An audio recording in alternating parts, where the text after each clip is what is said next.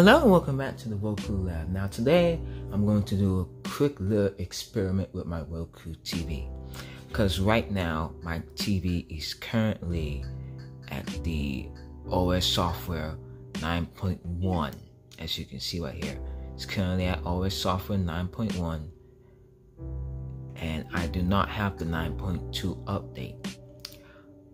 But I think I might found a way to force the Roku to update to the 9.2 update. Now this requires you, now I don't know if this is gonna work for me, but, or work for you rather, but somehow, um, if I go into the remote device settings, I go to pair new device and then I click on speaker, it's going to tell me in order for you to set up a speaker, the software updates required for your TV. Now, here's the thing though I do not have Roku speakers with me, I don't have Roku TV speakers. All I have is a Roku remote, which is the Roku Ultra remote that I pair to the TV temporarily because my regular Roku TV remote, the batteries on it died, so I'm pairing it up to this one and I think that brought up a new setting on the Roku device, on the Roku TV, to update to to have a speaker setting on here. So I'm going to experiment with this right now and see if we actually get the 9.2 update because this is right here. Your TV will update to version 9.2.6. So in case this method works, and it forces my TV to update to the 9.2 update, this is how you do it. Pair up the Roku Ultra remote if you have the Roku Ultra remote or any other Roku remote that has the um, the voice feature on here. Pair up to your t- Roku TV. Do the voice search when the TV is off.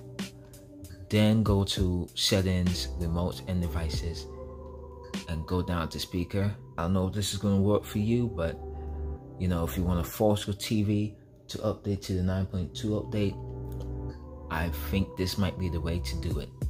But we'll see right now.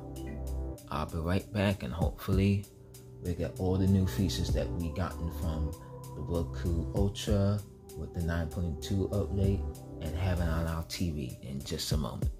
So the moment of truth, did my method work to get the 9.2 update force on Roku TVs? Now, the Roku 2 TV I have is a 720p one. I don't know the year it was made, but it's a 720p TV. So let me know in the comments if you tried this method and the method works for you. You got the 9.2 update. Let me know if it works.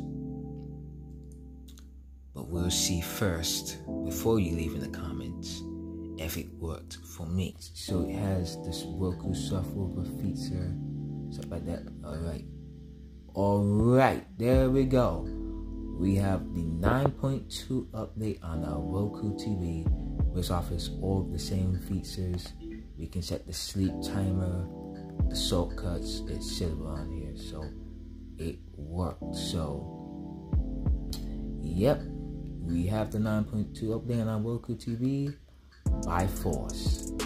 So let me note the steps here so you know, you know, try this method that I tried if you're gonna force the Roku TV to get the 9.2 update. Alright?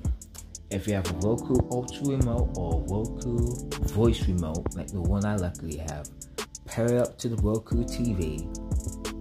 Alright, um, I think you know how to do that. Take away the battery cover, press and hold the button for five seconds, wait for the flashing light, etc. Then turn the TV off, try a voice command, then go to settings, go to remotes and devices, click on Roku speaker. Alright, I don't have you don't need a Roku speaker, but you know, click on it. And then it says in order for you to do that, you gotta get the 9.2 update and then update the TV. So you'll be updated to the 9.2 update and you'll get the features when it's all said and done. So Let me know in the comments if you tried this method and if it works for you. Great. I mean, I can't verify it works on all Roku TVs because I don't have like two Roku TVs. I only have like one Roku TV. But like I said, let me know if it works for you.